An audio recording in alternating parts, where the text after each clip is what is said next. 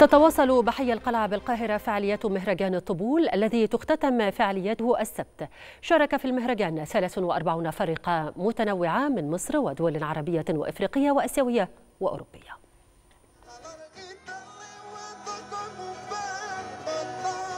قبل ساعات من حفل اختتامه ما زال مهرجان الطبول يقدم رسالته الفنية للجمهور عن طريق العروض الفنية والثقافية لفرق مختلفة تعبر عن طقوس وتراث كل دولة حيث قدمت دول إندونيسيا وتونس وفرقة مشوار المصرية فقرات غنائية وفنونا شعبية على مسرح السور الشمالي بشارع المعز. من أول يوم لاحظت اللي الجمهور المصري مقبل جدا على كل موسيقات العالم.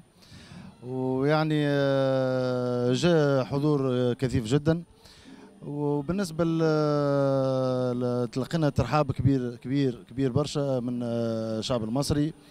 وهي في في العادة يعني الجمهور آه، المصري أو الجمهور التونسي جمهور ذواق للفن وسميع و... حاجة جميلة قوي آه نصور كيف الأخوة إنسانية في العالم يعني. رسالة سلام لكل الدول في العالم يعني. أنا حاجة جميلة جدا. على مدار آه، كل المهرجان آه، كان لطيف جدا. الناس آه، آه، تندمج مع المزيكا. طبعا المزيكا جديدة عليهم مزيكا الريجي بس الحمد لله كان التفاعل حلو جدا.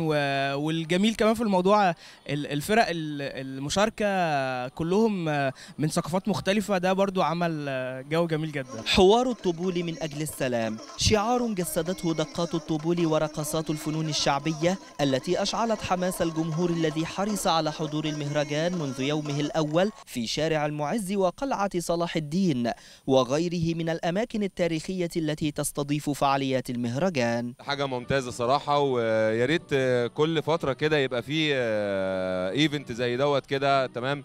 في ثقافات مختلفة في آه، ناس آه، بنبص عليها بنتفرج على حاجات مختلفة حاجة محترمة يعني. والله هو المهرجان السنة دي بعد بعد طبعا سنتين بقالنا كتير ما شفتش المهرجان حاجة جميلة جدا ومنظم جدا وحاجة منتهى الجمال يعني الصراحة. ترحيب واسع من الفرق المشاركة في مهرجان الطبول برعاية مصر لهذا المهرجان الذي يجمع بين ثقافات العالم المختلفة مما يؤكد أن مصر منارة الثقافة والفن و ومساندة لكل مظاهر السلام.